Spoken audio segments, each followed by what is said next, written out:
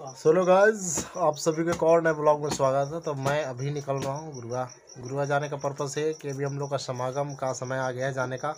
हरियाणा पनीपात समाल का तो उसके रिगार्डिंग थोड़ा सा ना हम लोग का मीटिंग है अपने निरंकारी भवन पे।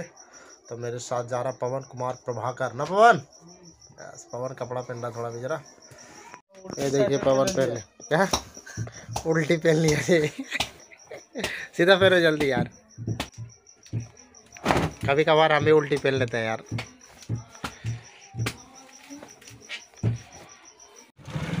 ड्राइव कर रहा और हम पीछे बैठे हुए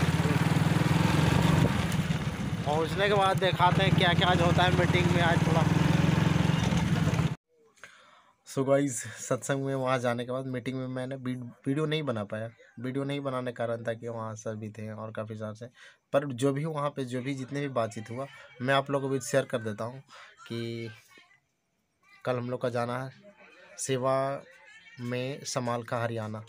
तो मेरे साथ काफ़ी सारे महात्मा भी लोग जा रहे हैं। जैसे कि मैं दो चार लोग का नाम बता देता हूँ। पवन जी हैं, चंदन बाबू हैं सलेश बाबू हैं और सुरेंद्र जी हैं और इतने काफ़ी सारे और भी महात्मा हैं वो सब कल जाने वाले उपेंद्र जी हैं। तो जितने भी निरंकारी मिशन के सदस्य हैं सेवा दल के, कल सब हम लोग वहाँ जा रहे हैं।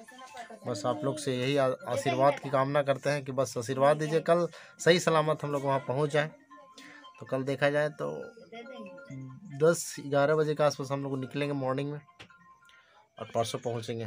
तो कल का ब्लॉग आप लोग का स्पेशल ज़रूर देखने को मिलेगा। तो चैनल पर नए हो तो लाइक कर दीजिएगा, सब्सक्राइब कर दीजिएगा। प्यार से कहना धन्यवाद जी।